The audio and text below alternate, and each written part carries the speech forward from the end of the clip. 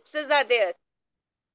Lunar eclipses are there. So these all highlight the ancient Indian understanding of celestial bodies, where children learn about them, about universe, timekeeping, and they focus on conceptual comprehension rather than technical calculation. I'm sure no school is there where we haven't shown solar system through our exhibitions.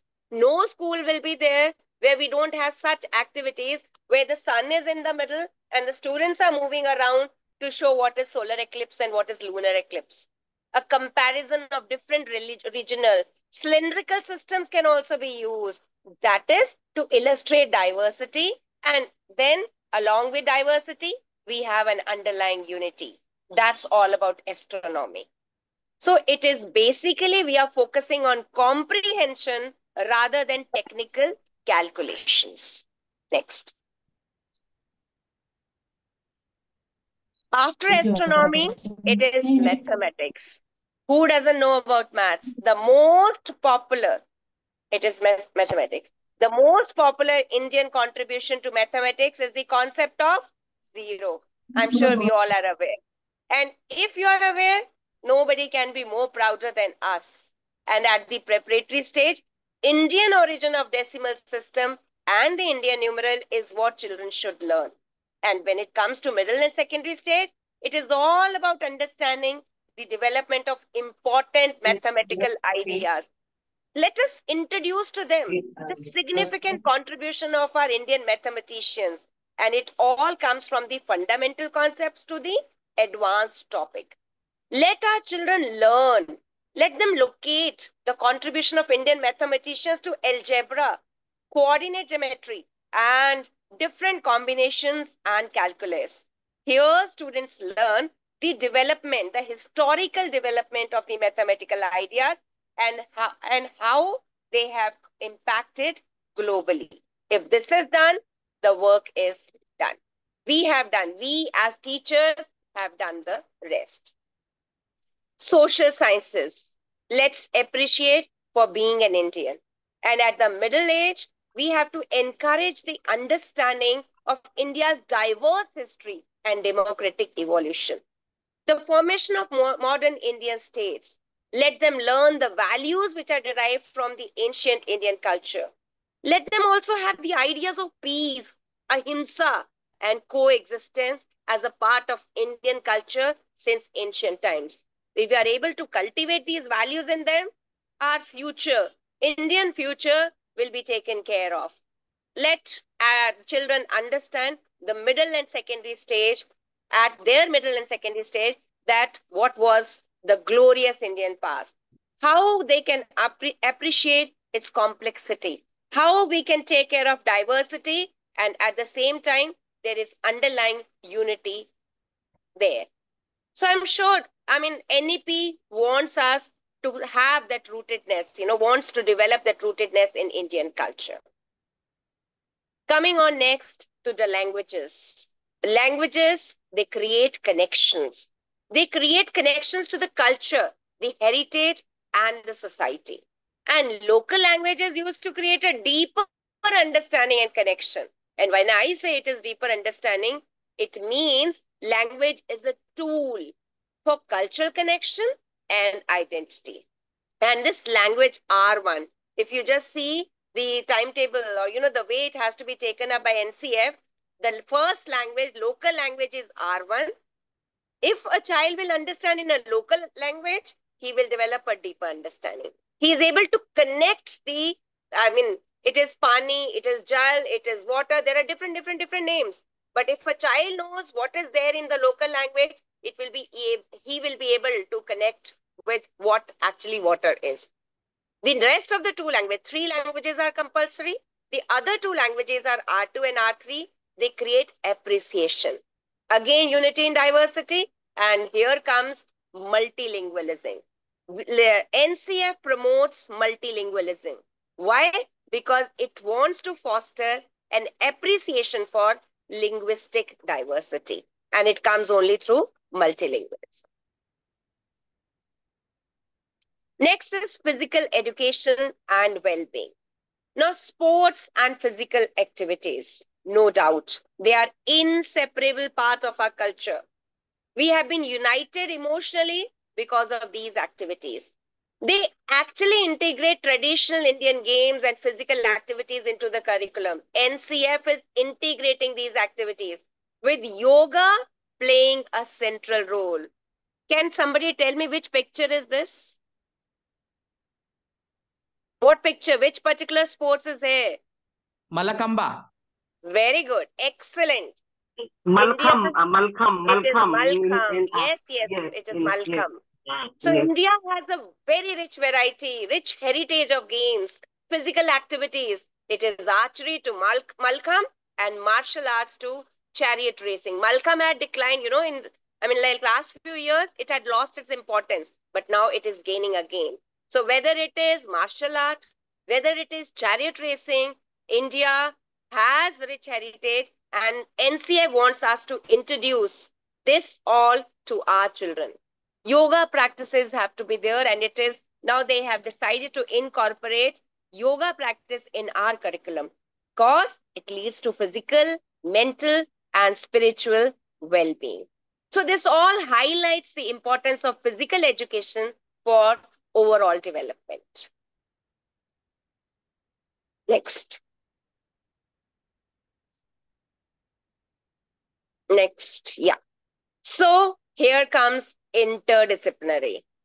And I'm sure we all have heard this. It is basically understanding of the social and the natural world.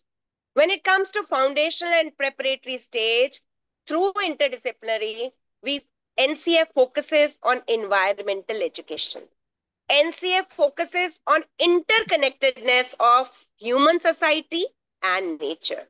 And for this, they try to expose students, they have tried that we need to expose students to local stories as it has been repeated again and again. The local stories, the poems, the narratives, folklore, histories, and games. And when it comes to middle stage, the secondary stage, NCF wants us, wants our children to understand India's resources conservation and agriculture practices that mitigates the effect of triple planetary crisis. You know, the children need to discuss. Children need to take for the field trips. Children, we need to take them so that they understand what is climate change. We cannot discuss how climate change is affected, affecting us sitting inside the AC rooms. So they want us to concentrate and have discussions. Just let them see how bio, biodiversity loss and pollution is affecting us. So the aim of NCF is to give a ground education where the rich, rich traditions and knowledge of India we are introducing our students to. We are trying to equip them with the contemporary challenges. What challenges we have? How students develop a sense of identity? How they have the responsibility so that they can take up these responsibility in the coming, I mean, in the coming future. So they have to understand this responsibility towards community and the world. That is what we teachers have to do now. So when we talk about Indian knowledge system, anybody who has any idea about this Indian knowledge system? What is this course all about? Anybody? A course on Indian knowledge systems. Please unmute yourself.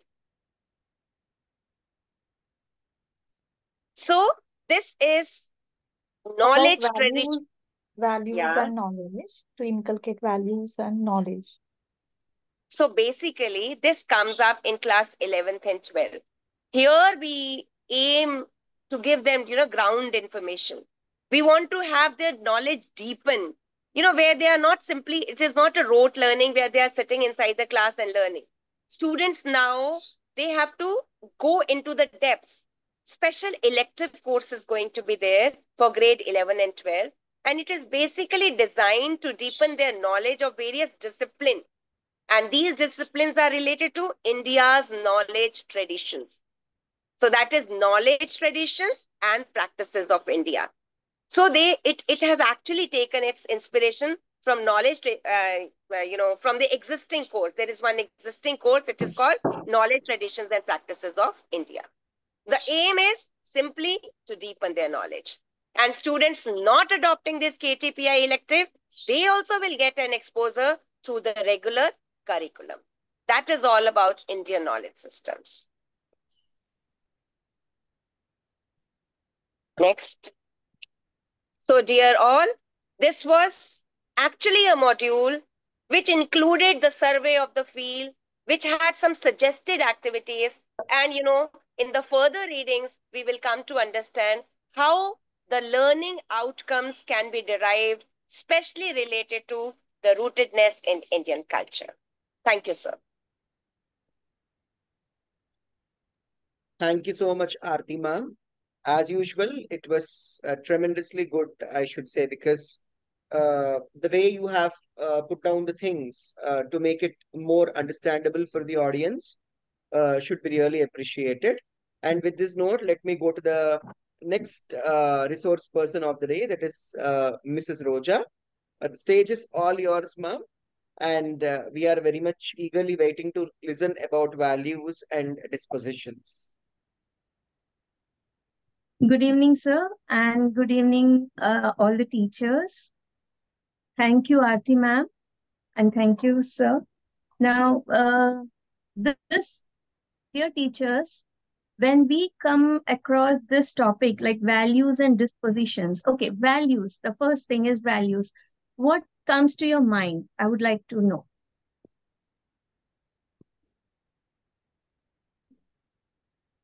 When, when we talk of values, what comes to your mind?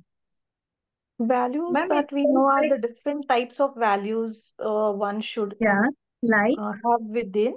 Yeah, There are morals. different values like Uh-huh. moral values, ethical values, social values, uh, then Okay. uh, you know fundamental values.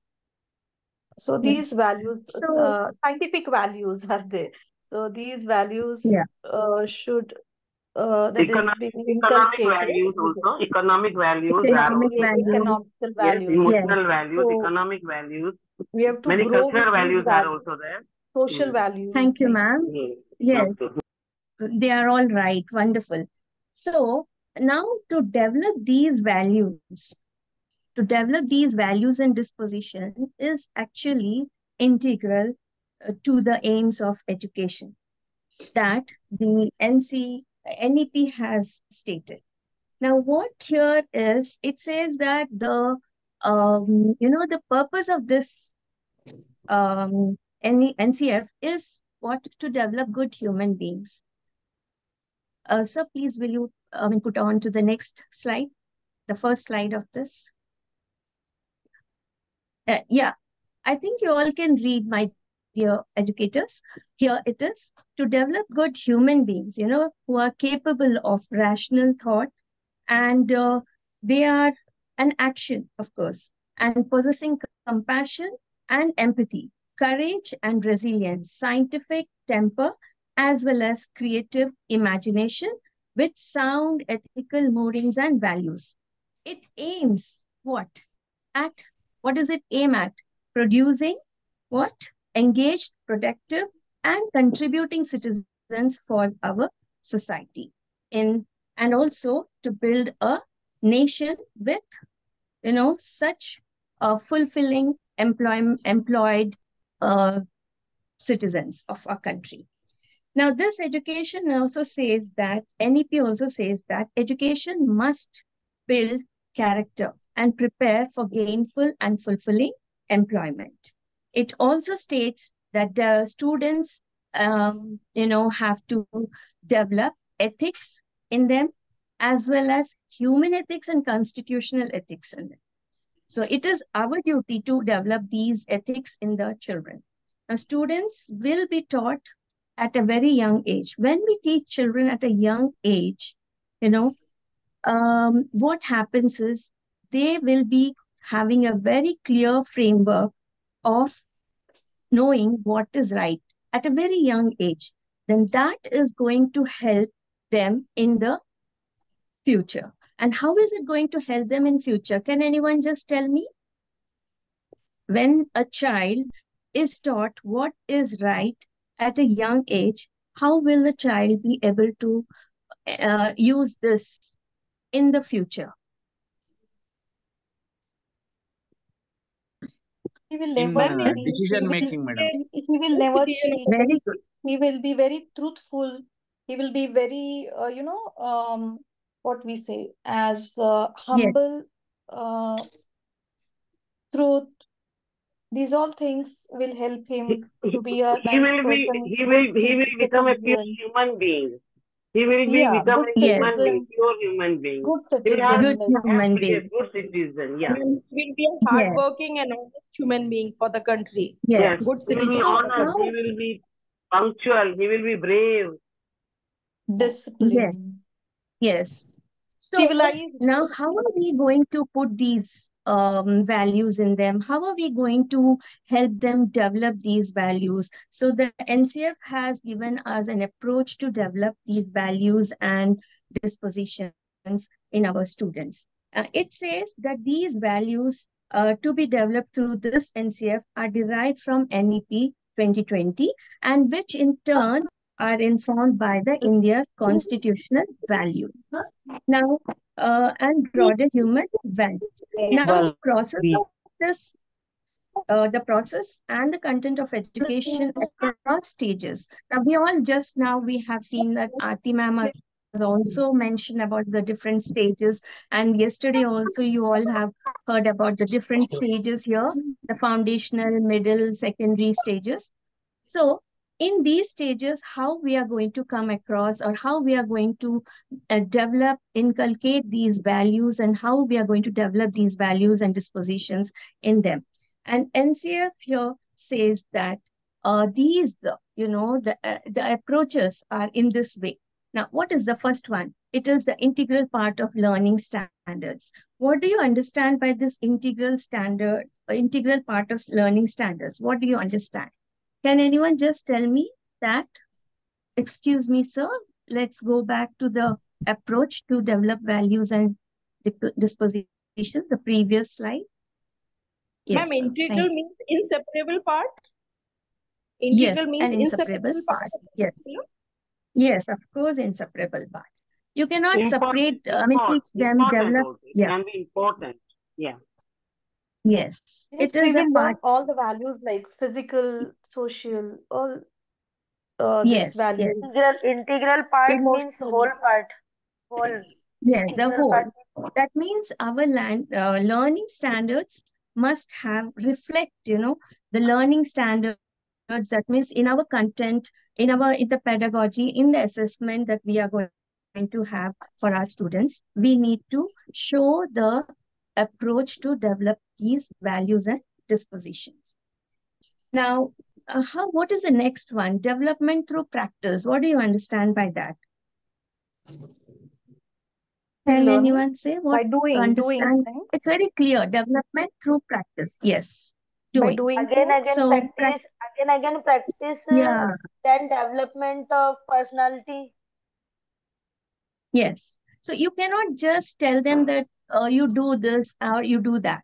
That's just giving a lecture. No. So this needs to be practiced, isn't it? Ma'am, Yes. uh, development practice also means learning by doing. Learning by doing, of course. And once when they start doing and learning through that, they imbibe the values and they will be uh, reflecting those values in, at other places. So what the third one, school culture is central. Can anyone walk the talk? as Yes, lead by example. Yes, yes, ma'am. Yeah, ma'am, as we say, na, hands-on Yes, learning. Yes, yes, hands-on, right, right, right, right. Yeah. Can anyone now uh, give a, an explanation to the school culture is central? What do you understand by this?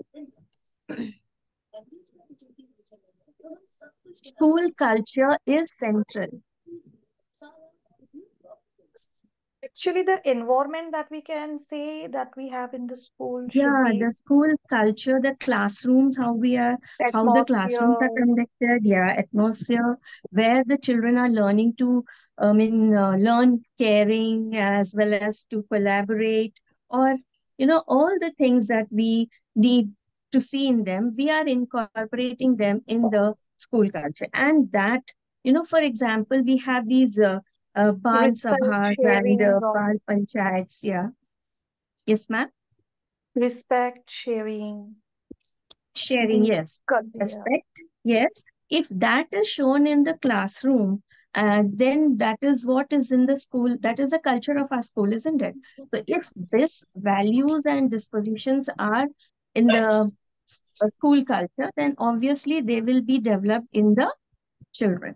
That is how it is to be done like uh, sometimes now learning values now giving a judgment or uh, um, uh, you know showing some justice or should be there. equality uh, so for that, what the children have, we in the school need to develop uh, or uh, have organized organize uh, Bal Sabhas or uh, Bal Panchayats or the amalgamation of humans make up the school. School culture has to be depicted. Yes.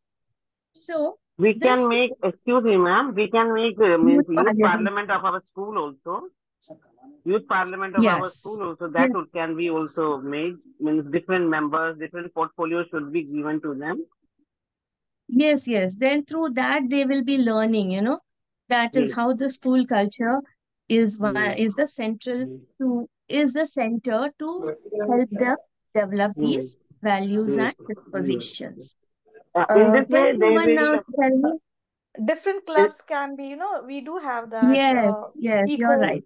eco in, club. in, in this way, they will be, Yes, means, uh, uh, in this way, there will be the, the value of leadership, cooperation, uh, decision taking, all such type of Social, uh, habits or social values club will be also. inculcated. Yes, yes, inculcated. yes, yes. Thank you, ma'am.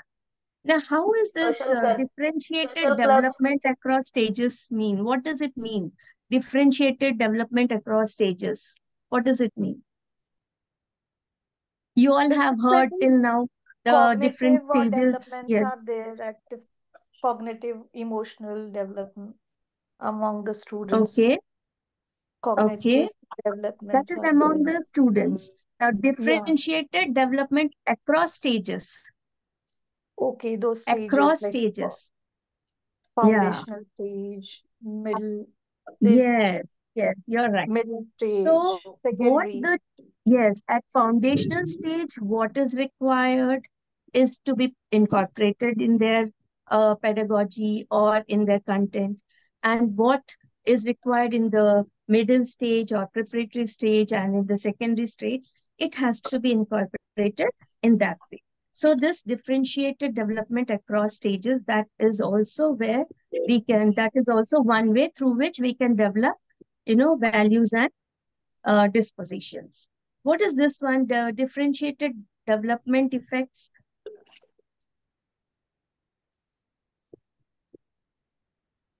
Differentiated development effects.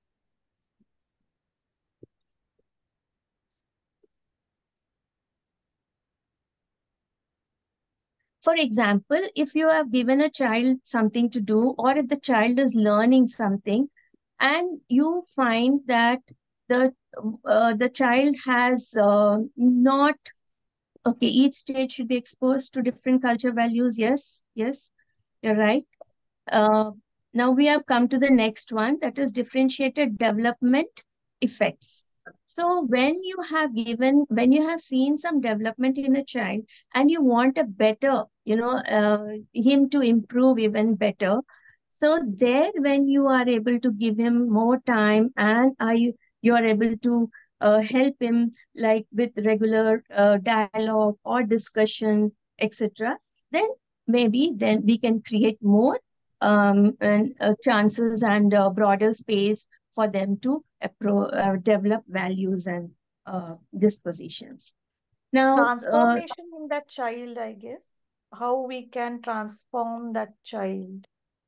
how we can transform the child. Of course, when once when we find that the child is uh, a little weaker in one particular part, if you Hmm. are Hmm. helping him develop in that part, then of course you're seeing the transformation there. effect, And this and also differentiated means it was uh, to a particular, uh, you know, uh, particular, you know, the value.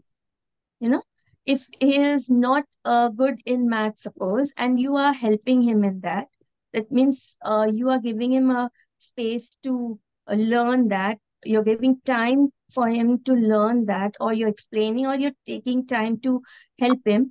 That means you are differentiating it actually, helping him in a different subject, but the development is uh, you're finding that it is effective. Your help, your effect, I mean, your help is effective, isn't it? It is helping him develop in that particular um, subject. So we give them, uh, I mean, it is not, of course, I'm, I just gave you an example of, of a subject, but otherwise also, if a child at home, you are given, at home, the child is helping his mother or he's uh, serving and all that, helping his mother. The same thing, if he is able to uh, go and do this kind of community service, you know, wherever there is a bhandara or something outside uh, in any festive occasion or anywhere, or in a party or anywhere, then they are coming up with it. Means that shows that there is some development in the child, isn't it? He has gone up. Now, if we talk of this uh, content, you see, in content, implicit and explicit. Can anyone please explain this implicit and explicit? Explicit, ma'am, is external development and implicit is internal factors and the internal development of the child. Yes, yes, you're absolutely right, ma'am. This implicit is actually the inner uh, hidden talents or hidden, uh, you know, uh, qualities and explicit is uh, understood that whatever we are uh, giving through our the, through the books and the text and uh, through the lessons you know which are clearly stated those are the explicit um, i mean uh, the content that we need to uh, use for developing these values and dispositions we can use. Even uh, of course from as Aarti madam had just now said that we are rooted you see into our Indianness or into our heritage. And from there, we can take, bring out more stories and more people, I mean, you know, uh, lessons from the tradition, from the history of India, not only from India, from abroad, from around great Indian heroes or outside, I mean, from everywhere, from scientific, uh, he, the scientific heroes, everywhere we can, from every aspect or from every walk of life, we can take them. Okay, and in the same the same thing that is your subject uh, separate subject but here uh, the moral uh, what and what ncf says is the development of values and dispositions is fully integrated into learning standards physiolo- pedag- pedagogical processes and school and classroom culture and processes in addition to this I'm sure everybody is listening to this. A course on moral and ethical reasoning will be introduced for all students in grade 9 it will be introduced. Now of course we have no uh, it is only up to 8 i think moral education and all that but now it will be introduced in grade 9 also. And uh, later on that uh, there will be more practice and rigorous questioning will be there. It is not so easy. The challenge is that um, uh, i mean this is um, developing values and dispositions it's a big challenge actually in a um, in this learning standards. But still when we have this there are questions like you know uh, whether we are able there are specific values that needed to be addressed in a focused manner with students and therefore require specified time to be set aside then we can provide them you know more time and um, we can uh, treat them separately. We can give them or heed to their needs separately and give attention to them. And also, you see, we teachers also may need in may need support in developing the capabilities in uh, to handle such specific se uh, sessions on the development of values and dispositions in a rigorous manner. Then, of course, it will encourage. It will be encouraged by respectful questioning and discussion only and teachers and students may need appropriate, rigorous, and interesting material on these matters. and uh, you know incorporates both research and experience. It is required that we need to re do research and experience as well. Now, values in conflict. What do you understand by values in conflict? It's very important, I feel, because you see here, children, actually, these, um, every time we find children uh, saying that I need to win or I have to, I need my say to go and all that means they need to be at the higher level. But then we need to make the children understand these values too, that yes, uh, there can be, you know, uh, failures, there can be how to handle these these failures and all. And there can be you know they should give respect there uh, like uh, they should have this gender equality. They should be able to uh, you know uh, face that uh, no bias and have respect for others and all that. And coming to the assessment here assessing process is purely observation. We cannot simply, uh, okay, he has given uh, uh, like taking a question and answer or a pen paper test and we cannot just give them marks on it. We need to observe the children and at different stages, at different levels, at different places. Uh, excuse me, my dear teachers, uh, somebody is uh, talking with their um, microphone on. Please mute yourself. Thank you. So assessment should be done only through observation for these values and disposition. It cannot be done if somebody writes, yes, I am, uh, I mean, taking a pencil without asking somebody is good or bad. Okay, some might say good, some might say bad. But if the thing is, if the child will learn that you have to ask and take because um, you should not steal. Later on, he will learn that. Okay. So if he is able to say, may I, may I take your pencil? If he is able to ask and then take, that means there is some uh, change in him. If you are observing this, then you assess. So this kind of assessment has to be done.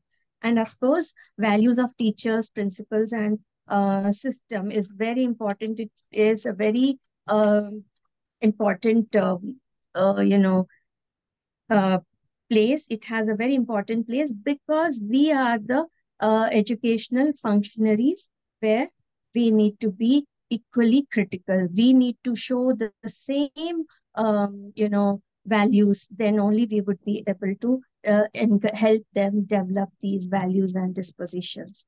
So uh, we have here uh, the next uh, slide. You can see foundational stage, how you should go about with the foundational stage assessments, how they should teach. I am, uh, if you can take a screenshot of this illustration, excuse me, sir, would you please show me the, yes, the previous uh, slide, yes. So you can just take up, uh, take a screenshot of this and how actually you should be going about with the approaches or with the teaching in uh, values and uh, in the uh, in different stages you know? Like in uh, foundational stage simple stories from vast indian repository of stories then learning the uh, learning through those storytelling. After that discussion is also very important by those young children you know? Uh, makes them learn how to you know uh, put out their opinion or put out what they feel or what their mind says. So there are many, uh, you can just take a screenshot of this. Okay, in the middle stage, uh, if uh, see in the what is the difference between foundational stage and middle stage? You can find that in the middle stage, the children are now coming up through not only discussions but also staging of this plays and role plays and imagining, you know, uh, what their uh, an alternative to whatever they are learning. Okay, and uh, the secondary stage, you know, is uh, the difference is that they have to undergo all these things, but the difference is that they are more exposed to you know, biological sketches of great figures worldwide. They have to do some research work. And once they do some kind of research, they once they learn to uh, find things and address those, uh, how to address those issues and conflicts and and also use the uh, technology in their uh, work. That is how they will be able to develop um, values. And it is uh, values and dispositions uh, here it does not mean only values uh, that is showing respect and showing discipline or uh, being good and truthful. These are ethical of course. But other than that the uh, the the subject values they should be known okay? And also the environmental values that is what in which environment they are how they should be and uh, how they should go ahead with it. May i go to the next uh, and uh, yes thank you sir. This uh, pedagogy across curricular areas and you have been listening uh, all the while in the yesterday as well as today um, when Aarti ma'am was telling about science, mathematics, art, education, languages, they are all, uh, you know, the pedagogy is to anyhow develop or inculcate values in them. Now, science and mathematics, you can understand the creativity in them, the objectivity in them, sh it should be developed. And also understanding the connection with the real world. And also to use the technology and the lens of ethics along with that ethics. Now, uh, you see, recently you have come across this, uh, if I talk of this uh, technology here, the uh, digital footprint you must have heard, and also uh, cyber parenting you must have come across, where the parents and we are learning how to do, and that has to be you know uh, filtered to um, to the children, has to go to the children anyhow. That they will be able to understand, and they'll then only they will be able to use the technology, and then only they'll be able to uh, develop the uh, values in different curricular areas also because technology is not a different uh, you cannot separate technology from their uh, subjects. So they need to go with it. And um, and of course we need to develop interdisciplinary uh, in the interdisciplinary area sensitivity and care towards the environment. It is very very important. Today they should know understand how the environment has to be you know, how they have to take care of the environment, how they should work for it, and how to, you know, yes, care for other humans, birds, plants, etc. And vocational education is another very important one where respect for all professions is required because it is not that if he is, uh, I mean, if he is occupying a higher position and he cannot just insult a person who is working at a lower position.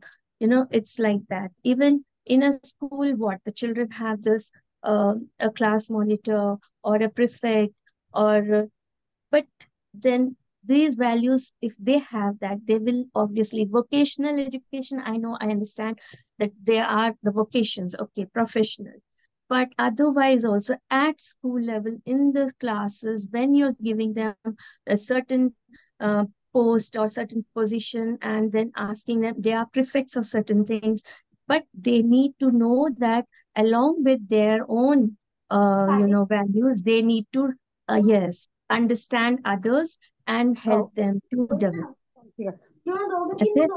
same thing in physical education they should understand uh, they should have that uh, sportsmanship spirit they must develop in them. And that is how they can uh, if that value is developed in them, they will surely be able to, um, you know, spread that around, you know. In social science, scientific rigor in analysis of events, appreciation of Indianness, social and uh, democratic values of equality, justice, fairness, and inclusion, desire to improve as a nation. Yes, finally, the whole uh, values and dispositions, all that we need to develop in the children is to bring them to a to improve the nation. Once the children are improved, the nation is improved. Once we Indians, we citizens are good, the nation is good. Okay. So finally, what is it? The school culture and practice says. What does it say? you see, we have assemblies. You see how they are, it is actually approaches. You see how the school culture and practice approach uh, practices, they help in uh, developing the values and disposition. So what is this approach? So you have to, they can, you know, values can be uh, developed through the daily assemblies, you know, teaches responsibility, accountability. Even in mealtime, it inculcates values of equality, sharing, caring, you know, as well as importance and hygiene. Uh, student com committees and forums teach ownership and responsibility. And uh, participating in activities of different committees teaches for cooperation. Obviously, it is very important. The teamwork, collaborativeness, pro- proactiveness, taking initiative, leadership, and conflict resolution is very important in today's scenario. And reaching out to parents and community demonstrate respect. The school, if it reaches out to parents and community, it helps the students also. It will develop in them, you know, a kind of respect towards others. Means there will be a very collaborated and very um, intricate uh, development, I mean, relation between the uh, school and um, the community and the parents in developing, in helping uh, value, developing values in children and uh, students. I hope I could make sense. Thank you, sir.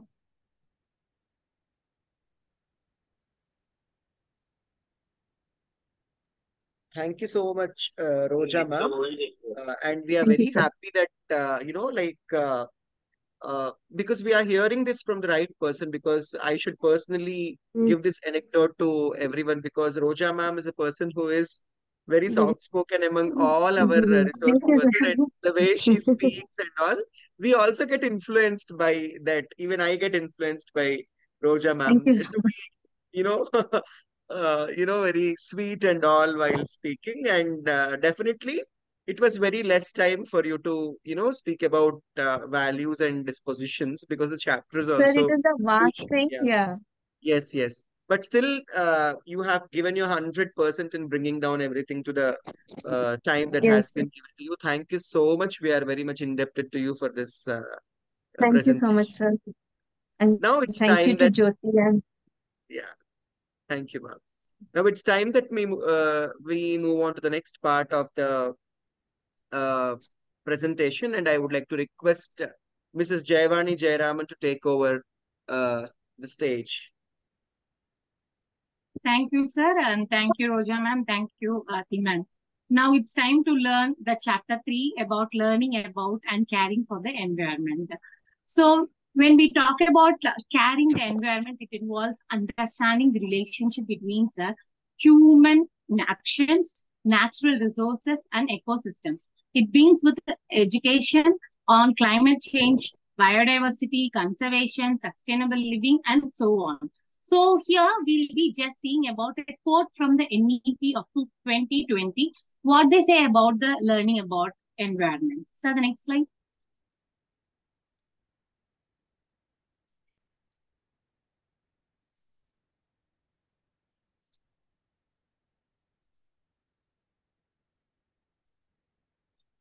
So here a quote from the N, uh, NEP 2020. So am I audible? Yes, yes, ma'am. ma'am, Yes, audible. yes, ma'am. Yes, Yes, ma'am. we are I have a doubt. I have a doubt. That's okay. So here a quote from the NEP of 2020 is stating about the um, things uh, which includes uh, uh, water resources, conservation, sanitation, and personal hygiene. Everything that we have to inculcate to the students in the initial stage of the development. Especially, we have to add this in the curriculum also. Either it is in all the stages, this environmental caring is a must because in today's context, so please next slide.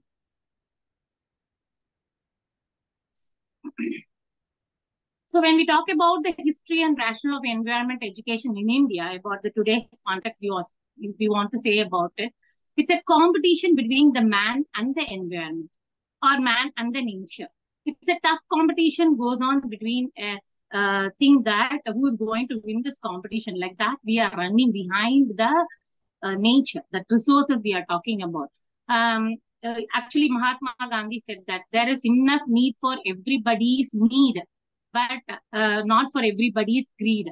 Um, today we are just running towards that only. So because of that the world is facing a, an enormous crisis due to the environmental concern.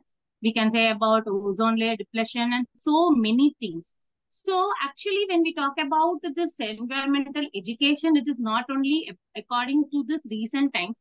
In before the past of the uh, ancient times itself they started to tell about in the history of india they talk about much about the uh, care about the environment.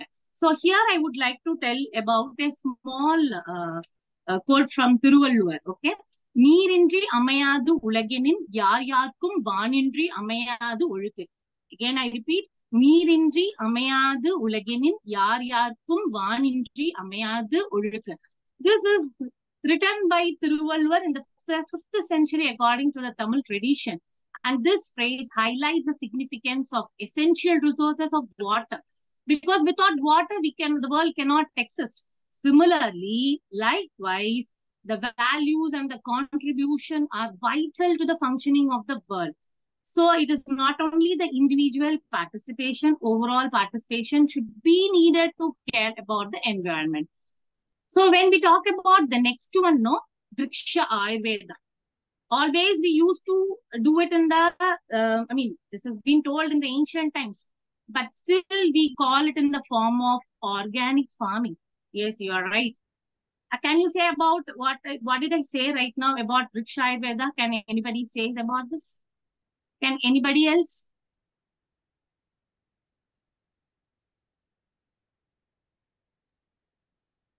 Do you have any idea about Vriksha Ayurveda anyone please come out. Otherwise i uh, it won't be interesting right? Then it will be like one man show. Mama as ayurveda for human being maybe vriksha ayurveda. Yeah ma'am. Okay. So when we talk about this vriksha ayurveda no it is ancient Indian science of plants and trees focusing on their health, growth, and productivity. So India is an age-old economic activity is nothing but agriculture. So it is a combination that uh, they has to know about the traditional knowledge with the uh, modern scientific principles also. So when we talk about our health, our growth, our productivity, for that we should know about the plants and the crops, what we are just uh, sustaining right now. So when we talk about this uh, uh, traditional knowledge of medicinal plants, agriculture, or uh, zoology, or survival technicals, or whatever the natural calamities or whatever we are being, it has been predicted before centuries in the ancient history itself.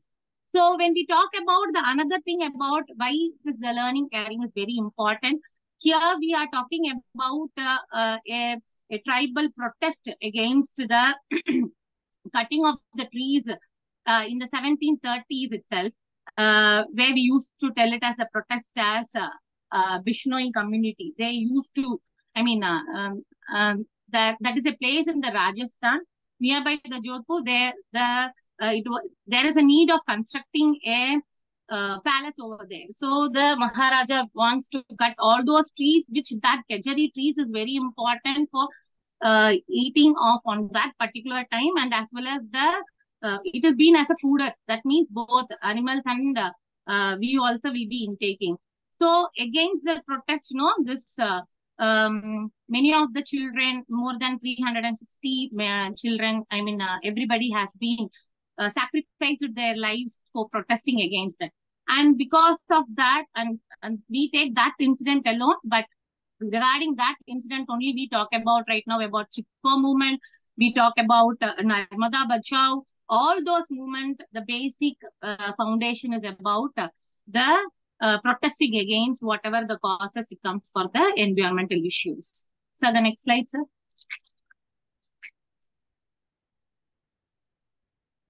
So when we talk about the aims of the environmental education, yes, the aims of the environmental education and literacy part is very important because it is a link between the ecological and social, economic and political factors. When I talk about social, we are not talking about anything else. We are talking about the community. And when we talk about the economic, we are talking about the economic activities of a person, which included maybe about uh, what activities has been involved in primary, secondary, or tertiary. And very important thing about the political factors also, we have to know about it because we live in a democratic country and who rules us, who's against us, and what are the theme, what are the schemes they have been introducing in our country. Everything it comes under the environmental literacy. And the next one is an action-oriented mindset. Yeah, towards the environment. If we talk about uh, action-oriented mindset in the sense, it's uh, it is a development uh, of attitude towards a natural environment from ancient Indian tradition and practices, the Indian constitution, as well as the scientific research on the effects of modern human activity on the environment. And when we talk about the compassion, yes, to develop an action-oriented mindset and SILCAT to promote the environmental causes with a solid understanding on how individual, societal, national, and global actions can help us to restore the uh, to balance between the humans and the natural thereby we can say our planet where we live in because nowadays so much of natural disasters has been there. Yes ma'am compassion towards environment we will uh, evolve. Yeah what you said is re really right ma'am. Then when we go on to the next slide uh, that is nothing but approach. When we talk about this approach no the approach should be like see uh, the approach will be different okay uh, when we talk about a kid, the approach should be different. The how can we say in the sense, uh, um, Aarti ma'am was telling in the first uh, chapter about gel, pani, water. So if I if, if I say it in a French to bring water to a kid which is just three years old, definitely the child the child cannot understand what we are saying. So we have to approach to the students with the familiar words and to make them to understand so that it is accessible and uh, it is easy to uh, tell about the uh, environment. So for an example, we can say show and tell a natural things found locally to the children, which is very familiar to them.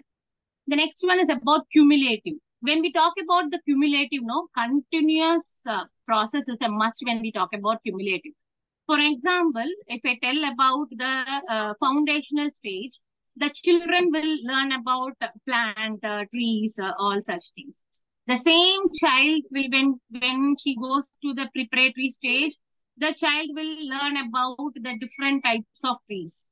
The same child, when she goes to the uh, middle stage, she will learn about the predator, prey, and the relationship be uh, relationship uh, between the animals and the plants and the humans, all such things. So the uh, continuous uh, uh, building on our previous concept is very important in the approach method. And next comes the participation. Definitely the participation is very, very important. When we talk about this participation, no, it is engagement of learning by doing. So the previous one. So the participation is about the engagement of learning by doing. Okay. So uh, for an example, we can just uh, take the children to the park, plant the trees, and the next day or two days after, we can just tell them to pour water and they see the progress. So we have to engage the children by uh, doing it, to be a part of it. Then integrated, when we talk about integrated, learning continuous beyond the classrooms when teachers lead by example. So teachers part is very important role in this integration.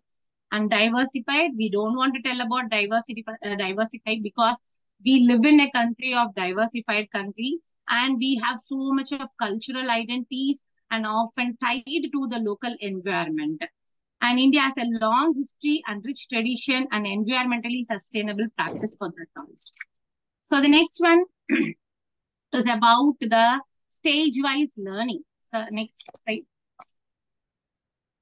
So the next one is about the stage-wise learning. The stage-wise learning is the very important element in this chapter 3 because when we talk about the learning about and caring environment, apart from all those three subtopics, this topic plays an important role because we are inculcating the children to learn stage by stage.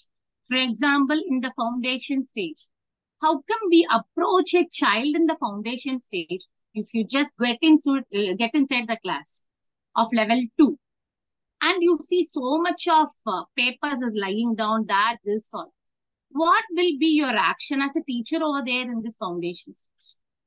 Can anyone tell me this? You are in level two only.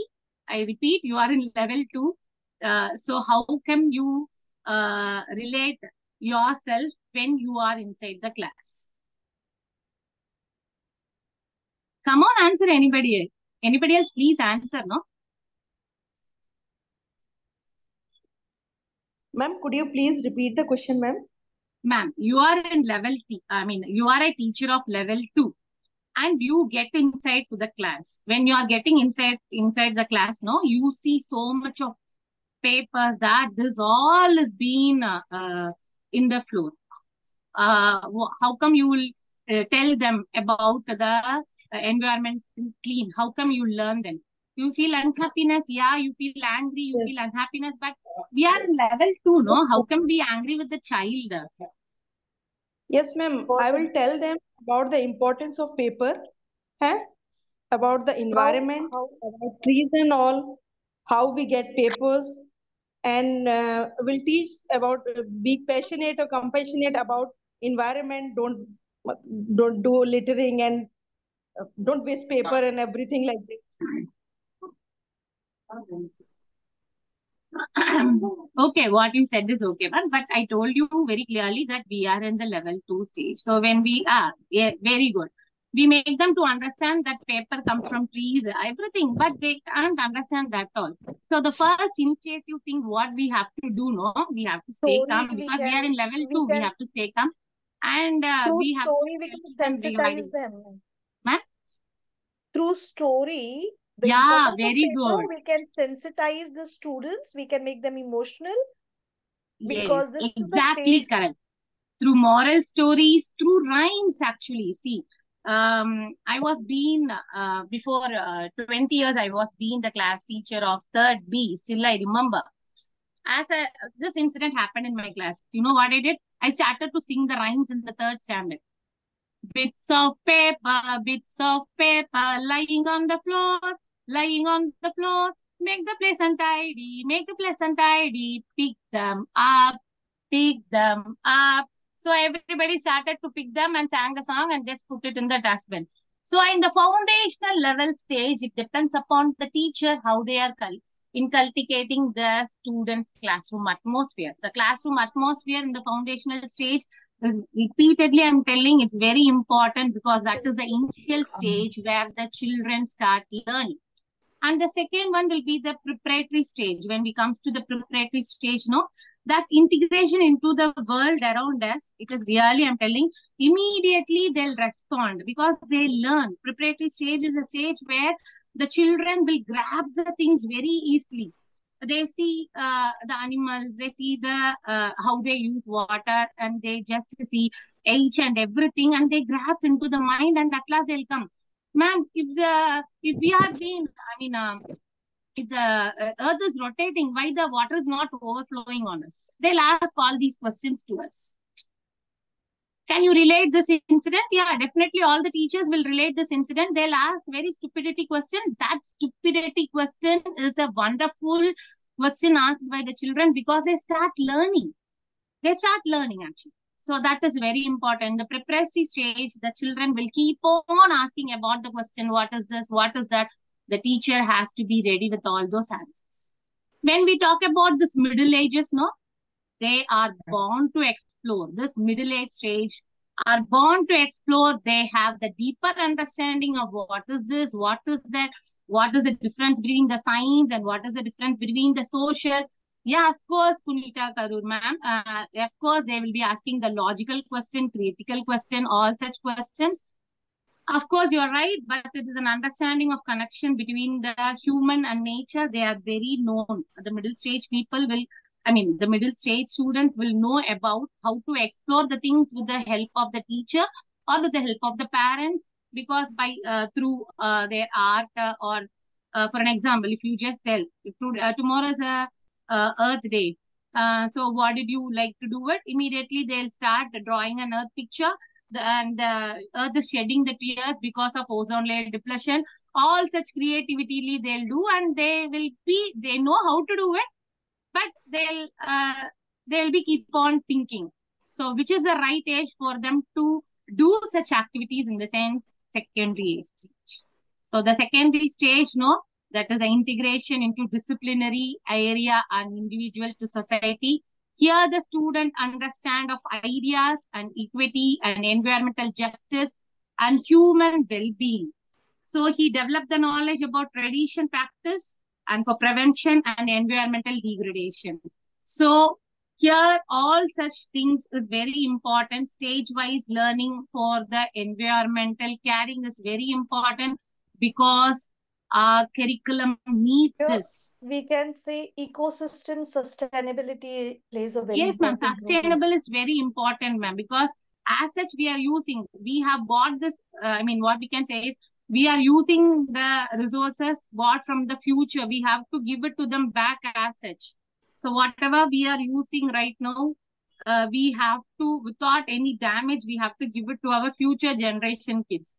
There is a, uh, I mean, there is a story like what we used to say, no, my uh, grandpa used bullet cart. Yes, my father went in bicycle. I'm going in car. My son will go in aeroplane. And my grandson again will go for the bullet cart. What resource we are trying to tell this? What resources we are going to try, try to tell this?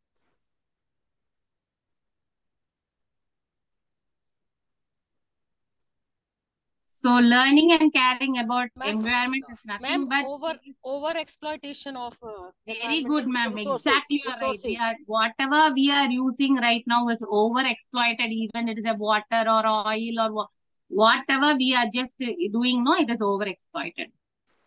So sustainability development is also in involvement in. Uh, I mean, uh, plays a very important role. So in the secondary stage, the children knows very particular thing about if we they never used to tap the water and just wash their face, and they uh, they don't never do it. If you see about the preparatory stage only, they'll be just doing it. So there is a, a stage-wise learning about the environment, which is very very important. Please inculcate them in the beginning stages itself. Okay. Thank you, sir. Thank you, ma'am.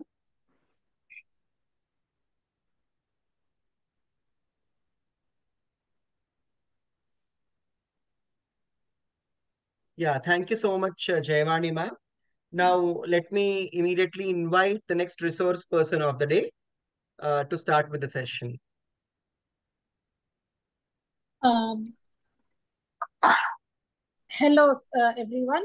So you've been all very, very uh, happily participating in the uh, program. I know we are going over time, but we'll try and wrap it up really fast. So be equally par- participative so we can go quickly. Yes. So the first thing I wanted to ask is about this picture about inclusion in school. What do you think inclusion means?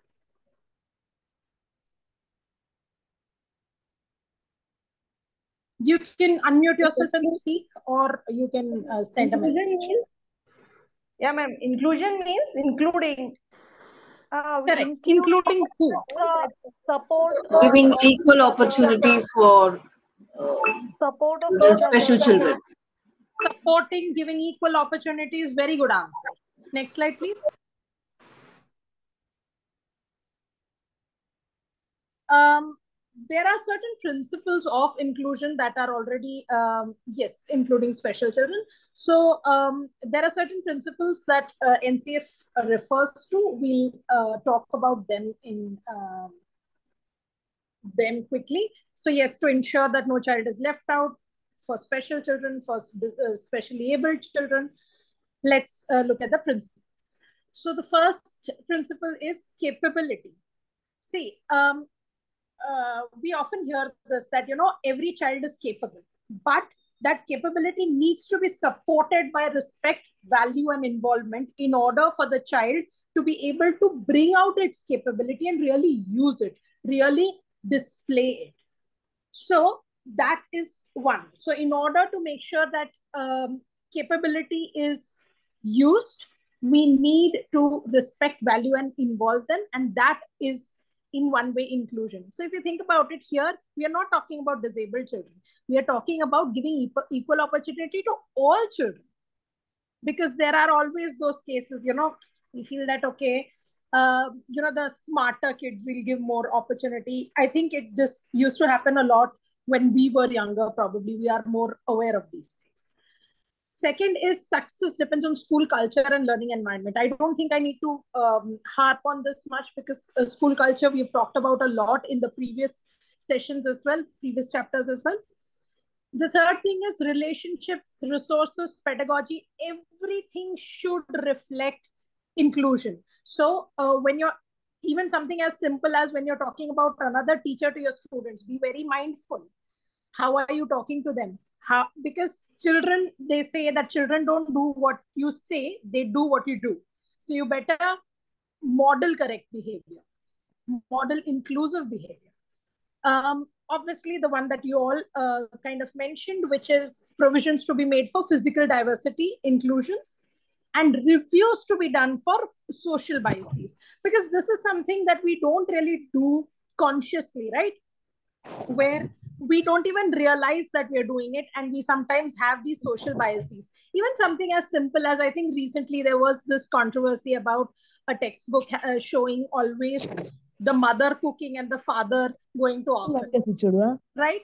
Um, you may all have seen this.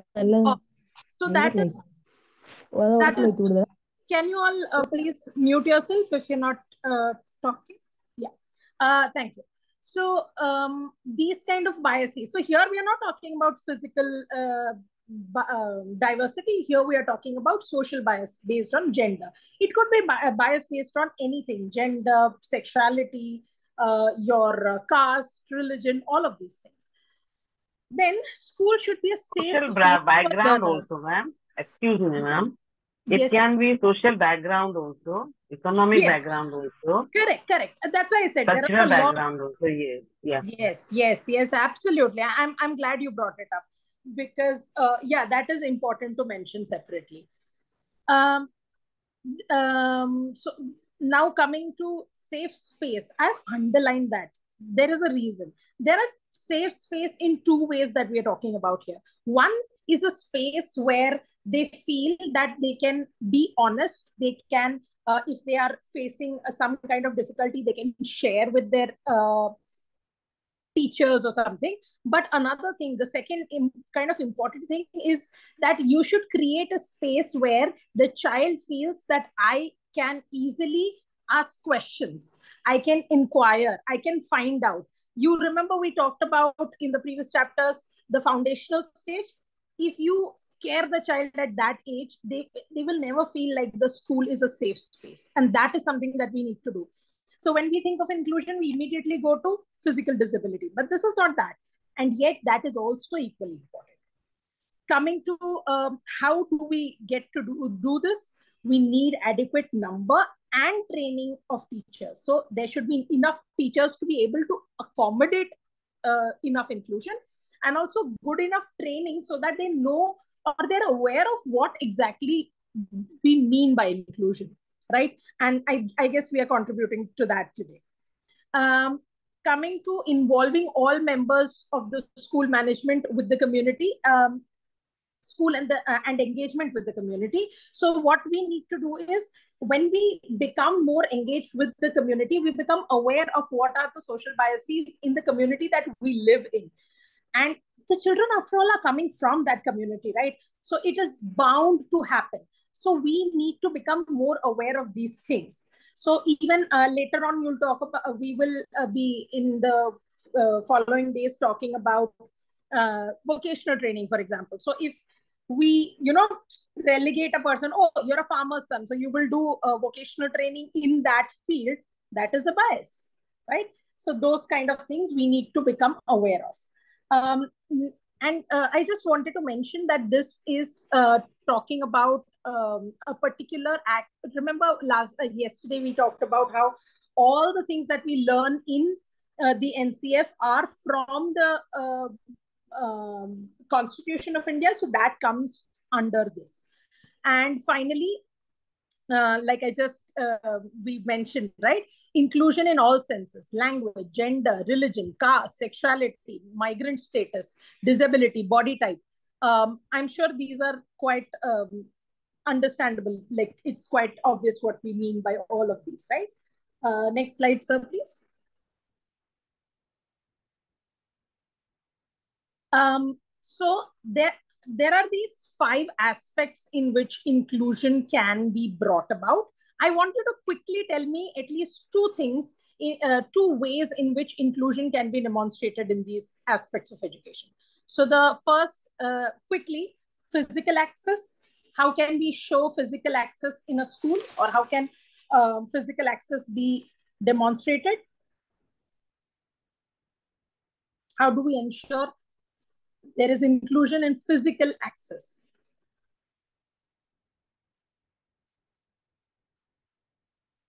Okay, we will. Ramps. Yes. Ramps. Ramps, exactly. Very good. So physical barriers in that way. Ramps to um, help people who can't walk. Planks. Yes, somebody said planks. Any anybody else? Story, storytelling, storytelling by puppet show. Elevators. Um, that is how to teach. My question is, how will you actually uh, do it? Braille. Elevators. Yes. Also, Braille. I think, sorry, rain Braille. Braille. trains. B R A I L L E. Braille. Braille. Yeah, yeah, yeah. Absolutely. Very good. Yes. So we often just think of when it's a, when we say physical access, we immediately think of literal physical walking. But yes, uh, uh, brails, special washrooms, very important. Um, Sandhya ma'am. Um, and buddy system, Abhinav sir, very good. Yes, all of these things help. Uh, one more thing that I want to just point out is because India is a country with a lot of casteism, um, physical access also means this is something that doesn't come to mind immediately. Uh, physical access also means equal access to all the furniture or all the um, things that are available to all children, to all teachers. I think I don't need to say any more. You understand what I mean. Um, second, coming to safety, what? How do you think safety can be ensured or demonstrated?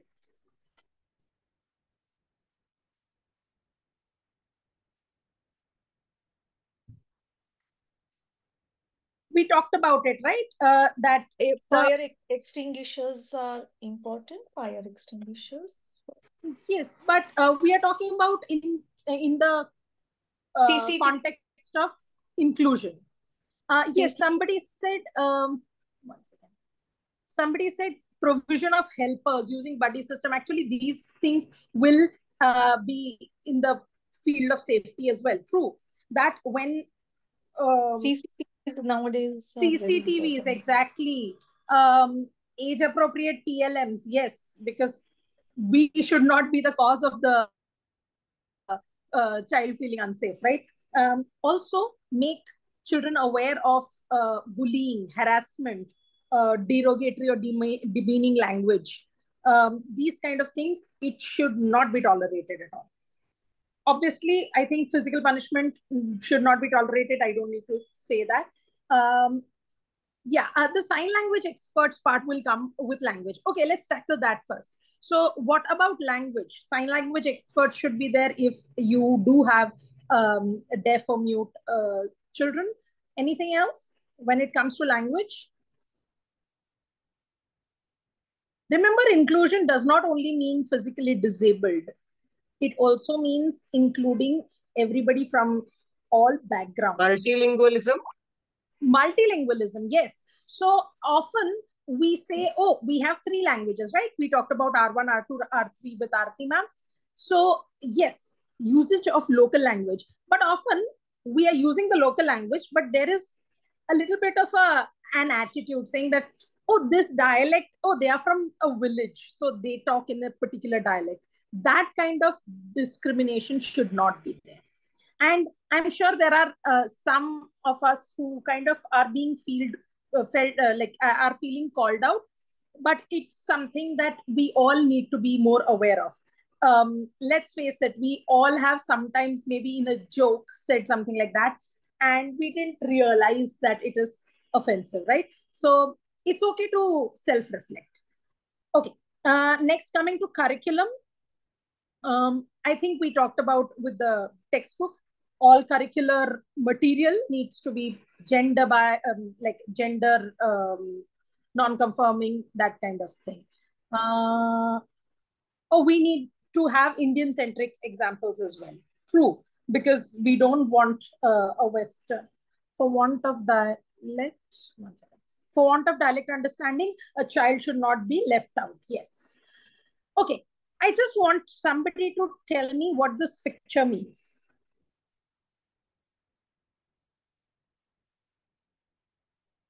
What do you th think this picture is a representative of?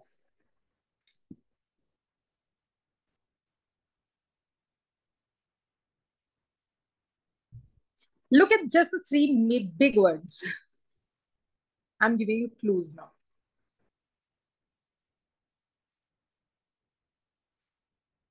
When disability meet, meets accessibility, you have ability. Yes, how inclusion can be made. But if you look at the big words, what we are trying to say is that disability is not the end of life. It is not like just because a child is born disabled, he is like that's the end of his capabilities he still has capabilities you as a uh, teacher have the responsibility of giving them that accessibility so that their disability turns into an ability and we'll see how we can do that next slide please. to accept these challenges accept and provide for them you know yeah. basically what we call um, positive uh, uh, discrimination. Next slide, please. Yes. Um, so here, quickly, we'll go through these. One is ba barrier-free structures and alternative furniture. We already talked about this. Early identification and, and intervention. This is mainly in case of um, the mental disabilities. So, you know, children with learning disabilities, children with autism, things like this. If they are identified early, Cognitive the intent... Yes? cognitive development yes cognitive development can happen way better if they are identified early and we are able to help them out early so here identification is not um, calling out somebody not name calling someone not um, shaming them identification is just in order to help them better so that they can learn in their own way uh, and we should be responsible to do that uh, finally accommodations in terms of accessibility uh, and not uh, expectation. So here we are not lowering the bar for them. We are not saying, oh, um, so and so is uh, maybe autistic, so we don't expect much of them. No, we give them special help so that they can show their true potential. We are not lowering the bar. We are making sure that they have access to the uh, the knowledge that we are uh, here to spread. So these things will help that is text to speech or speech to text software uh, allowing spell checks and calculators for children who uh, find it difficult like they should have a legitimate reason for it peer support for children who kind of um, feel a little intimidated maybe with teachers being on their head all the time uh, special educator support this should be there at least in bigger schools at least at the circuit level it should be there uh, permitting breaks for children who cannot, you know, concentrate on one thing for a long time, and distraction-free rooms. Um, and all of these are a part over and above what we already talked about earlier, which is the physical disability. Finally, the, the people who kind of get left behind. Uh, we often talk about uh, children with disabilities, but we forget there are also children with special talents. And when it comes to special talents, um, we often say, oh, they get everything. What else do they need? That kind of a thing. That's not true. Uh, the thing is there there are sometimes children in class that you will notice they're very smart but they get distracted very easily because you gave them work and they've finished it and now they're distracting the whole class. So instead what you can do for them is uh, two things that you need to remember is that these this talent is not is uh, you know not specifically li limited to curricular subjects. And it becomes easier to identify when it's just one subject. When but when a child is just smart in all subjects you just say oh it's a oh this child is just very hardworking. Maybe they do have special talents and we have not um, identified them yes you can give them extra work to help others and that becomes a good peer learning opportunity as well. But apart from that we also need to give them some special attention and support give them special uh, worksheets and things like that. Uh, we need to make sure this is something that we um, i think this is hopefully more of a um, obsolete thing that you know we kind of assume that oh somebody comes from a certain strata of society so they probably don't have special talents it's a unconscious thing we need to get over it. Uh, note we need to notice different behavioral traits and you need to know them in order to notice them first. Um, we need to re- uh, redesign our pedagogy so that we can support them. And finally we need to support be supportive in a democratic way as in don't put them up and put down the others at the same time. Finally just a picture i wanted to talk about. We are aiming for equity and equity is the left picture or the right picture?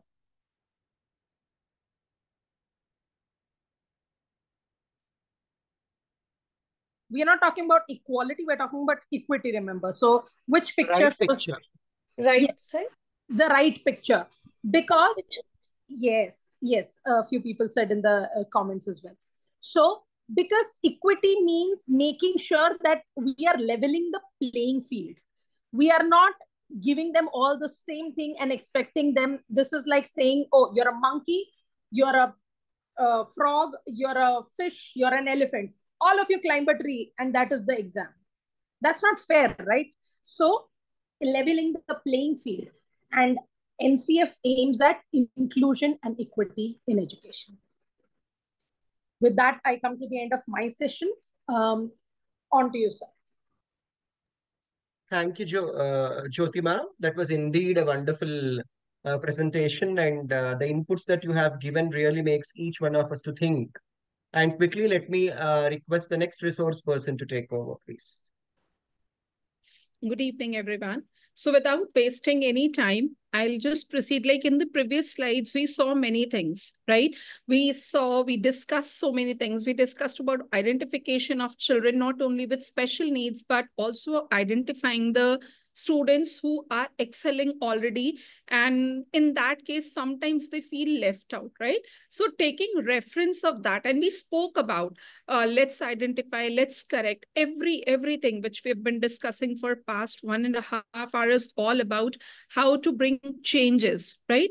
So related to that, I have a question that you can see a picture and a quote, uh, quote written over here, connection before correction. So what does it exactly mean? Can anyone please tell me? Connection before correction.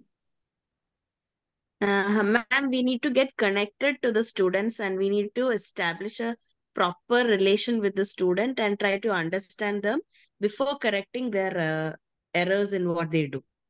Exactly, because without connection, you know, correction fails. Wherever you have a connection, correction is, uh, yes, develop connection first. Wonderful. So We if have wherever evaluate that child before. We have to evaluate, evaluate. no, ma'am. Here, I would like to add understanding, right? Because when we shift from the word to, I mean, from understanding to evaluate, somehow, I'm not saying we are doing it, but somehow we become a little judgmental. And this is what we are not going to include in the practices for, I mean, see, the next upcoming slides will make things very clear what I, what I'm trying to say and why am I trying to say that we don't have to be judgmental.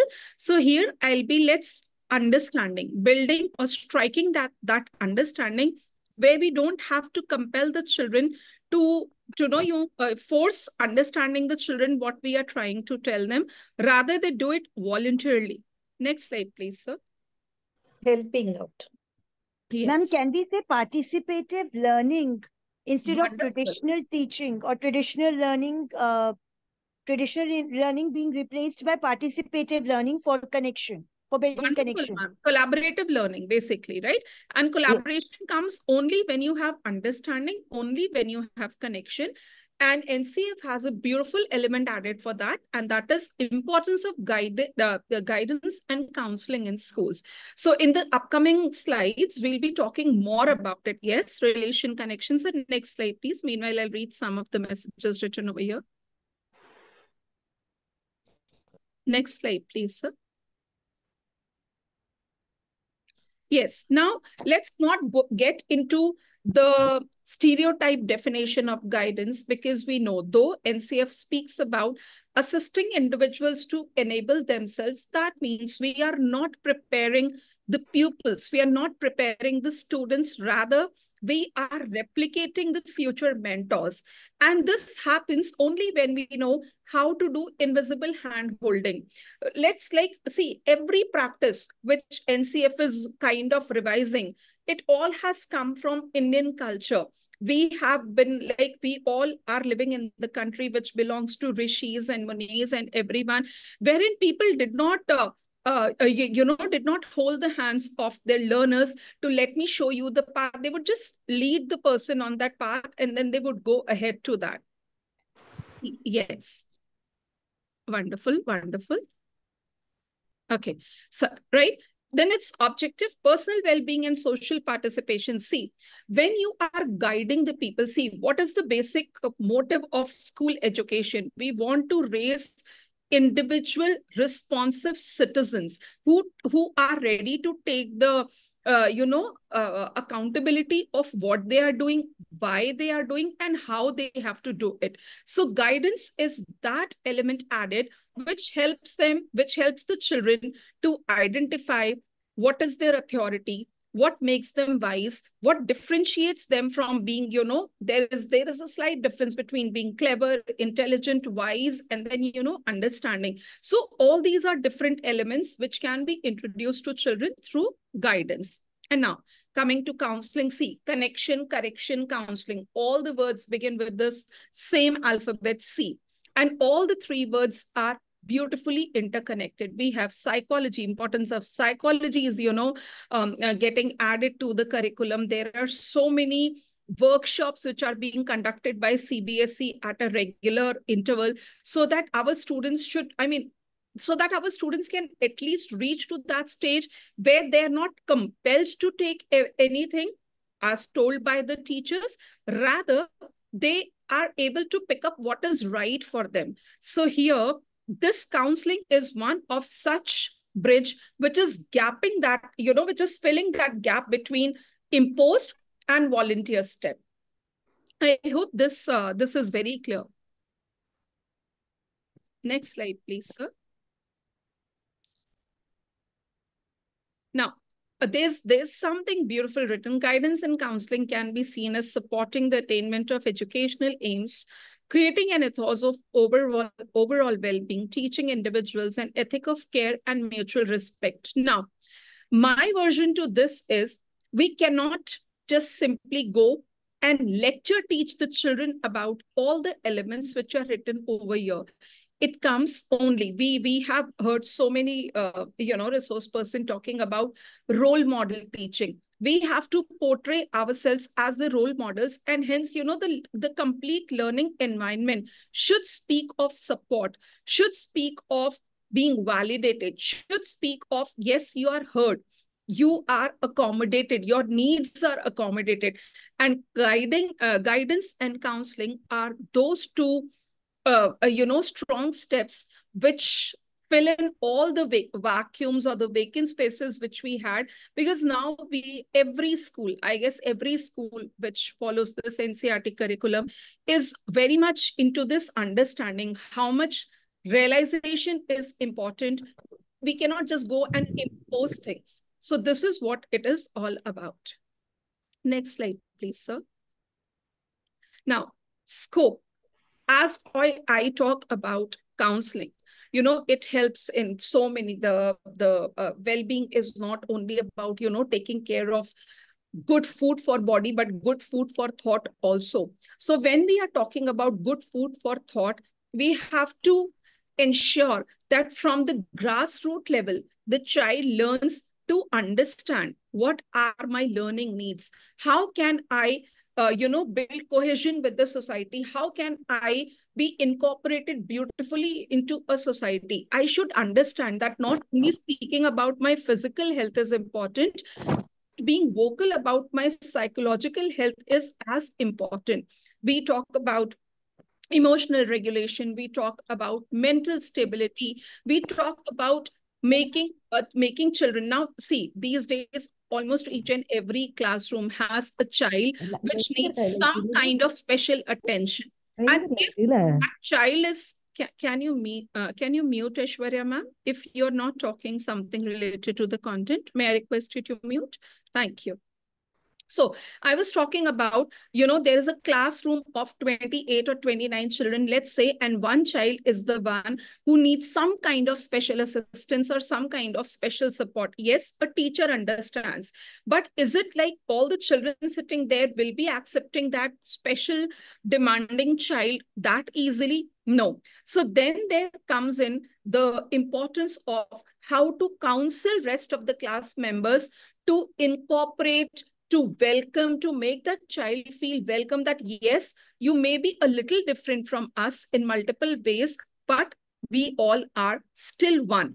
So this is what I mean about health and well-being of school members. Now, if I'm teaching something which is good for my students, that means that is going to be the best for me as well. So when we talk about school members, we talk about, NCF talks about uh, the well-being and health, not only of students, but also of each and every member associated with school. You talk about teachers, you talk about leaders, you talk about support staff, anything. And then not only this, but how important is it to help the children to provide with academic and career counseling most of the time we have been talking about academic counseling but career counseling and ncf has actually realized the importance of adding career counseling as one of the most uh, you know, uh, one of the uh, most important needs of the hour. And for doing that, regular workshops and everything are taken into consideration.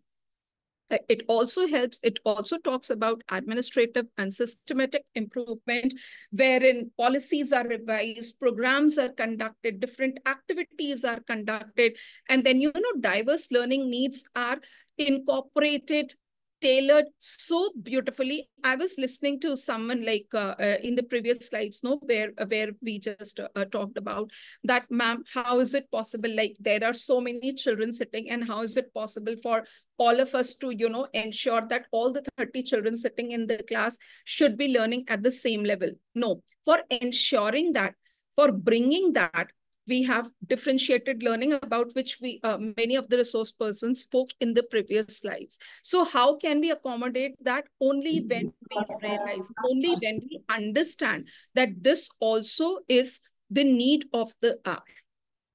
Uh, till here, any confusion to anyone? Now, if we have spoken a lot about counseling, guidance, and everything, can anyone tell what can be the expected outcome of this collaboration with on, on which we are working.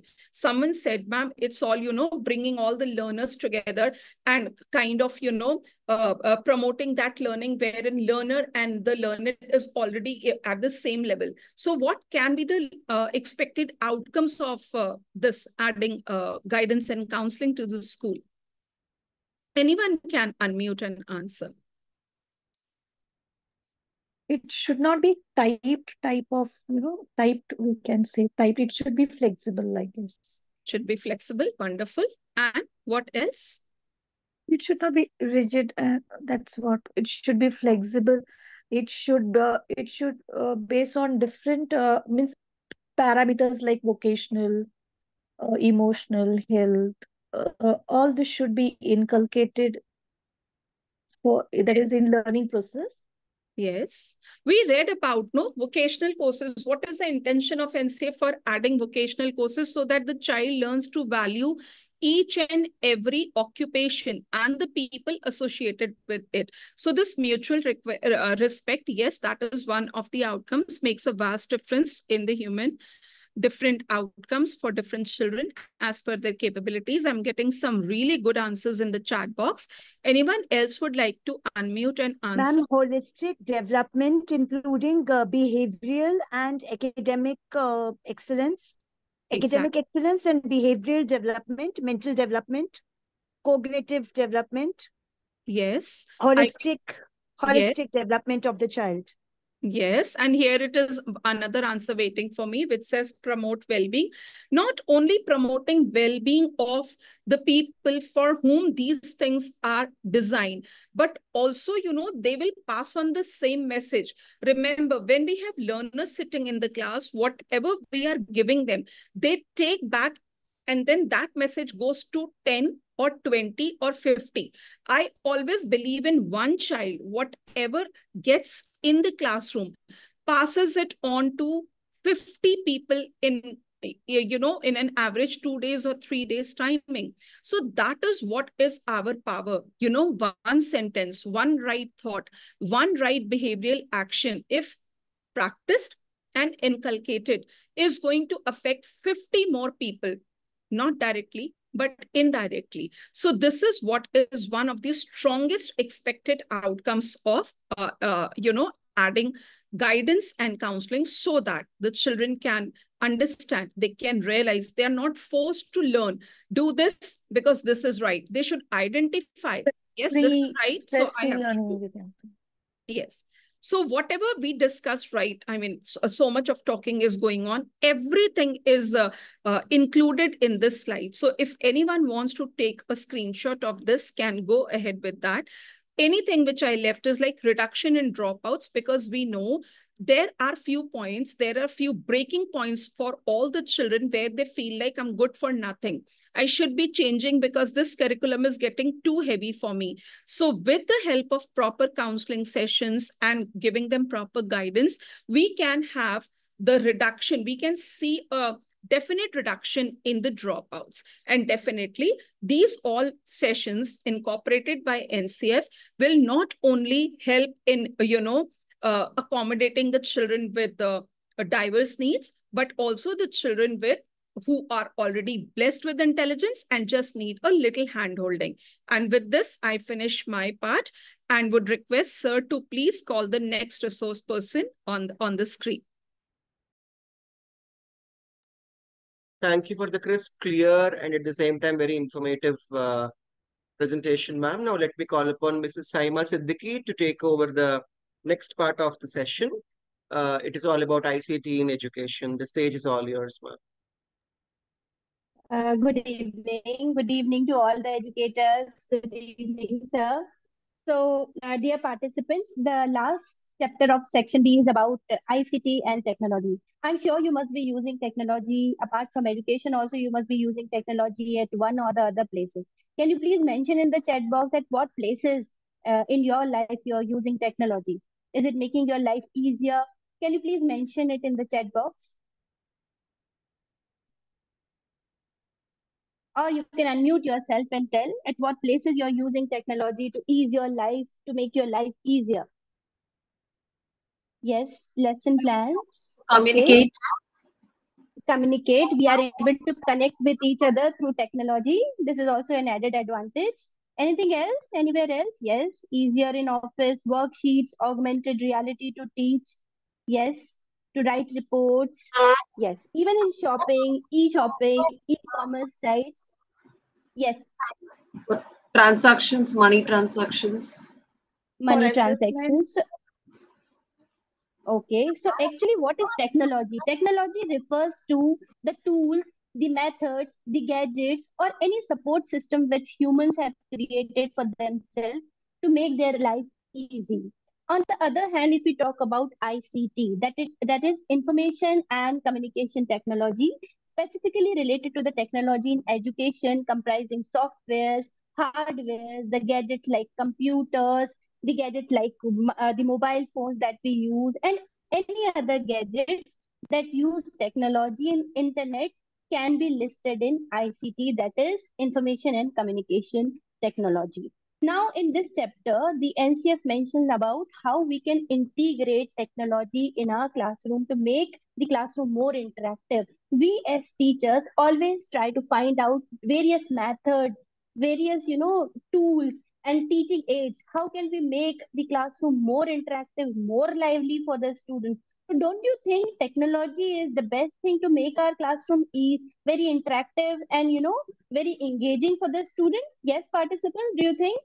Technology is uh, an interactive tool, is a tool which can make our uh, classroom more interactive and lively?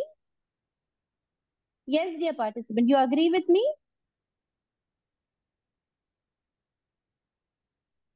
Okay. Yes, So ma'am. now, uh, if we talk about, yes, yes, sir. So technology has really made uh, the teaching more easier. We as teachers are able to prepare the lesson plans. We as teachers are able to prepare differentiated worksheets for the student based on their caliber. So it has made our life very easy. So after the COVID-19, uh, COVID-19, you know, was a uh, was a time which was uh, a time where, where you know it has disrupted the learning of around 286 Indi- uh, students across India. Their uh, learning was, you know, uh, was at start. They were they, they did not have any access to their learnings. But then during COVID-19, what was the game changer? The game changer was the technology. Many new tools had emerged during that time. The radio, the teleclasses, the e-learning platforms that, like Diksha, the education, the Ministry of Education has introduced this new platform, Diksha platform, wherein, you know, lot of educational videos have been uh, uh, uploaded, which is accessible to, uh, to all the students across the country. And then there are augmented tools also, then there are virtual labs also. So during COVID-19, lot of uh, changes have been emerged in technology.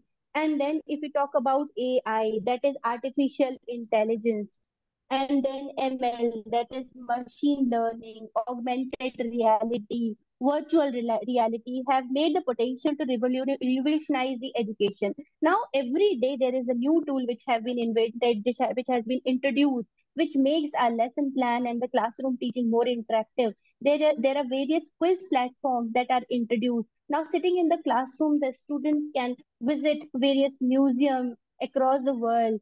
So it has brought the classroom, the world, the world to the classroom.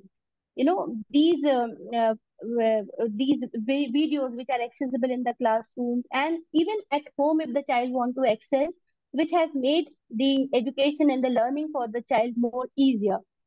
Now, if we talk about the responsible use of AI, the uh, NCF and the Government of India has introduced UV, YUVAI as a tool which aims to help students become AI ready. Because, you know, the next generation, the coming up future is about artificial intelligence only. One who is well versed in artificial intelligence is going to, you know, get success everywhere. So it, it- there is a need that everyone should be well versed with AI. Now, if we talk about generative AI, what is generative AI? It can create the content like text, it can create music on its own, it can create images.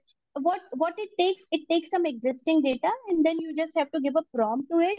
And then, you know, it can generate multiple images, generate audios and gen- generate text. Can can anyone name any two generative AI tools which are very common these days? any two generative AI, which is uh, very common these days?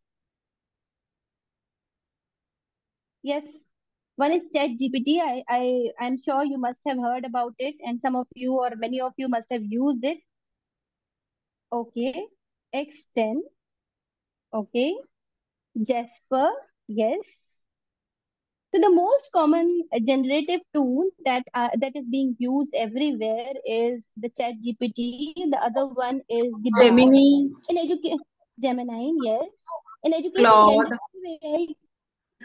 Lord, yes, there are many. Correct, correct. Co-pilot, co-pilot, definitely.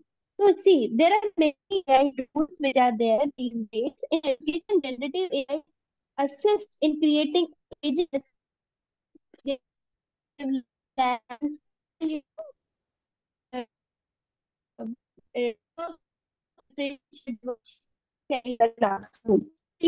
Where you use this generative AI tools to make your class more interactive. Now, moving on to the next slide, it talks about potentials of ICT in school education. So, next slide.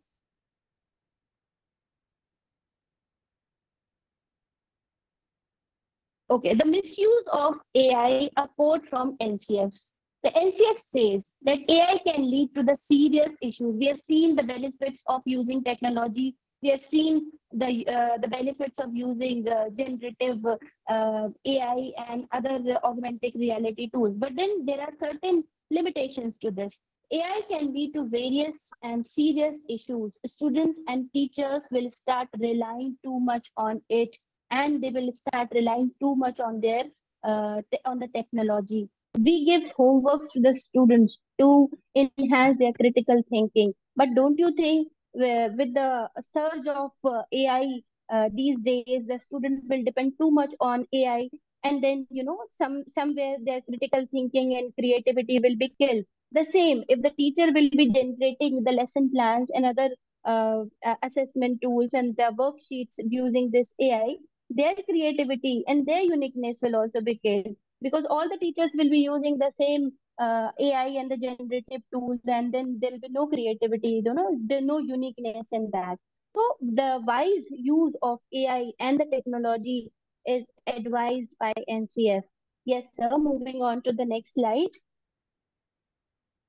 Yes, potentials with access for students like we no doubt the technology has broken all the bar- barriers in education. Ict breaks down traditional constraint allowing students to explore beyond the classroom. Now students can explore the content beyond the classroom beyond the curriculum. Even sitting in their home just on a click of a button they can you know access the material that they want to access. The other benefit for the student is that they can enable and virtual experiences such as exploring museums such, such as explore, uh, exploring planetariums. Uh, they can do it from the comfort of their homes. Now, about uh, another benefit of using AI is it is accessible to everyone. Be it you know a person who is sitting in a in a in a place where you know rural area, but then if he, he has an access of internet and he has a gadget, then he is having an access to the high quality of education, which he or she can use anytime, anywhere in the day.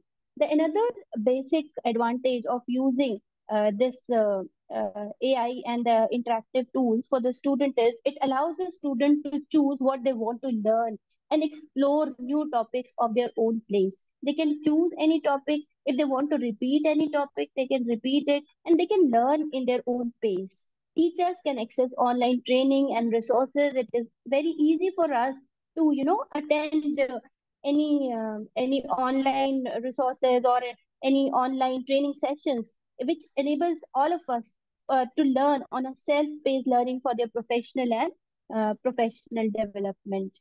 Now access of ict tools is another advantage.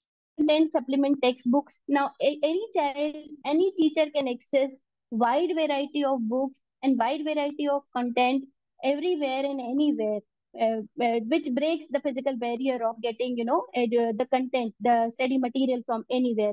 Student can engage in peer forum, student can engage in chat box and self-assessment tool also that can enhance their learning and that that it, that makes their learning very easy. Now there are many. Uh, yes, next slide. The other advantage of using the AI and technology uh, it supports the special need you know. If technology aids at universal design that is udl tools address the need of students their disability.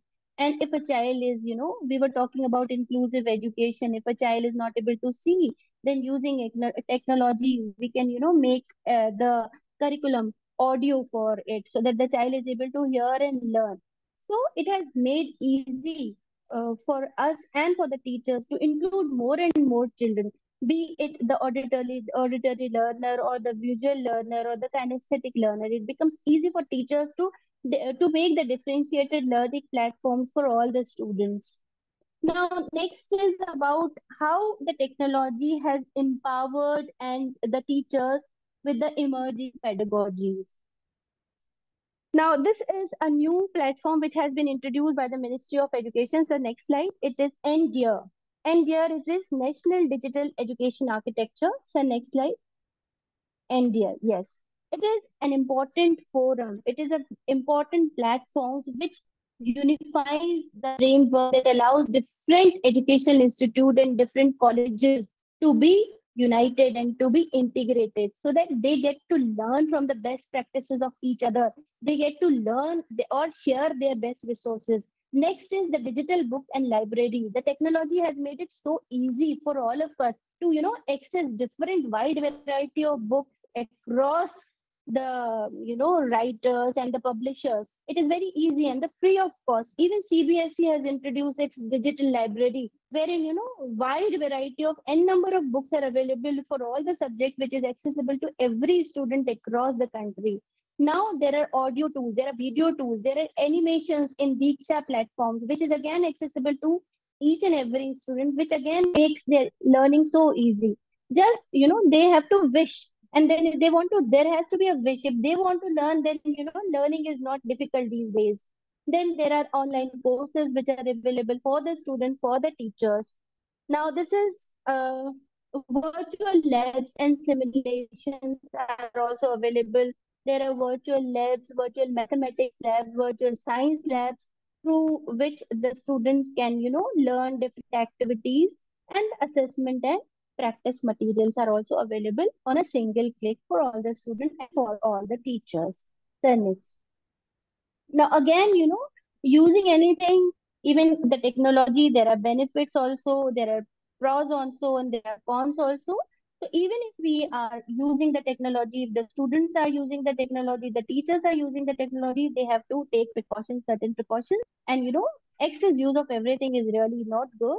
So we have to use it in a constructive manner and which is really helpful for us to make our classroom more interactive, more engaging for the student so that, you know, students uh, ease out, their learning becomes easy for them. Yes, sir. Next slide. The next slide. Okay, so this was all about the last chapter, chapter six. I really, you know, want to thank all the audience for their patient listening. So thank you so much, sir. And thank you so much. Yeah, thank you so much, uh, Saima ma'am. It was indeed a wonderful, crisp, clear, and at the same time informative uh, presentation. Uh, and my heartfelt thanks to all the resource persons who have been part of this great session today. And my sincere apologies to all the participants uh, because today's session has been a bit, you know, like uh, it has got extended more than what we expected but uh, we are happy that we have you all along with us even it got extended and uh, uh, you know like uh, it means a lot to us. Uh, and always uh, let me speak about the advantage just for a second that we could interact with each other and we have learned. Even it got extended it was all about learning. So thank you so much one and all once again and uh, without taking much time, I would just like to give a glimpse about how to grab a certificate. Just uh, in case uh, you need a certificate, uh, can any resource person write in the chat box my number, please? Uh, in case you want to grab a certificate, kindly send rupees 50 to the number which will be written in the chat uh, chat box. that is double nine zero eight nine two five seven three zero. Yes double nine zero eight nine two five seven three zero. GPay, PhonePe, and Paytm are available. Thank you, Minu ma'am. Uh, and along with the payment, uh, after the payment, kindly send the screenshot along with your name. Please do not forget to do that. And uh, within 24 hours, you will be getting your certificate. So thank you so much. Uh, it's uh, already uh, late. So good night, everyone. Have a wonderful sleep and let's catch up tomorrow once again for the rest of the uh, NCF. Thank you. Yeah. Thank you, sir. Thank you, sir. Thank you.